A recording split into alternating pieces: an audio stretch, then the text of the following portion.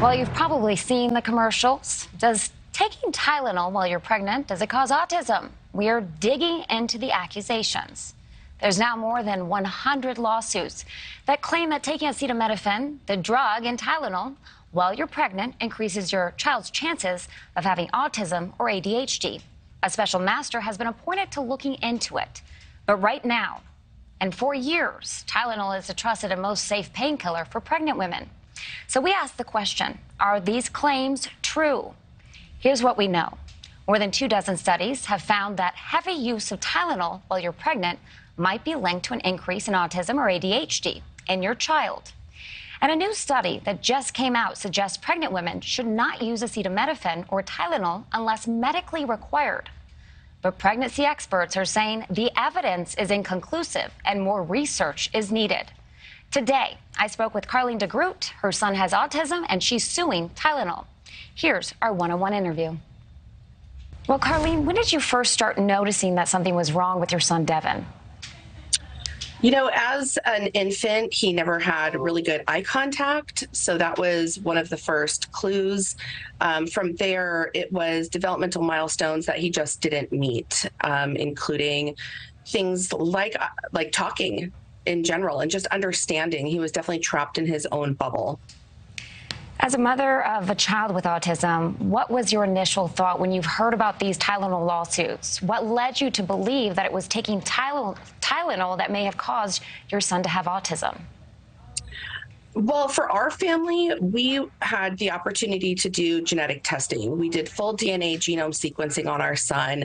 It came back with no genetic component. We did other testing. Um, we have a good crew of physicians, a developmental pediatrician, naturopath, regular doctor. We've developed a good team to try to figure out not only why, but what can we do to help him? Um, everything has came back with no potential cause. Now, learning through this um, class action mass tort lawsuit that's going on, looking at that research, seeing that there could have potentially been that 20 to 30 percent increase in uh, the link of that to autism as of right now, it's the only possible thing that we have that it could uh, account for his having autism. There's been one big supporter of this movement. It has been advocate Erin Brockovich, who was actually on News Nation uh, recently discussing this issue. Let's take a listen. My work in working with these women is getting the voices of them and their concerns for their children heard when we have science, and it feels like it's being suppressed or concealed once again. What is it like, Karleen, having her support? It means the world. Um, she's somebody who is educated, who's a force to be reckoned with. And in meeting with her, she's kind and just normal. Um, you know, this opens up a bigger issue in the world of autism, which is a lack of system. You have tens of thousands of parents who are doing their own research, trying to figure out how to care for their child, what could help their child. So having something like this lawsuit, it's it's forces the conversation as to a potential cause for autism. Um, it's going to bring education to people so they can make the best choice for themselves. If you're pregnant and you're in pain, if you choose to take uh, take uh, Tylenol or acetaminophen products, the fact that you may have some more education behind you in knowing that it has that link to autism is what we want. We want people to be able to speak with their doctors and make the best decisions for themselves. What is it that you want other moms to know, other pregnant women to know? What is it that you wish that you knew when you were pregnant? Well, I want them to know that they're not alone.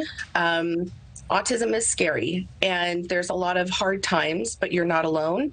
You're going to meet some of the most amazing fellow parents ever. Um, I would like other moms to know that be cautious of this medication. Use it directed by your physician as a conversation in um, any potential links that can occur. Um, I, I want parents to go onto autismjustice.com, look at the research, look at it yourself, and make make your own decisions. I'm big into education and people being able to make decisions for themselves. Karleen, thank you so much for having the courage to share your story, and thank you so much for your time. Thank you.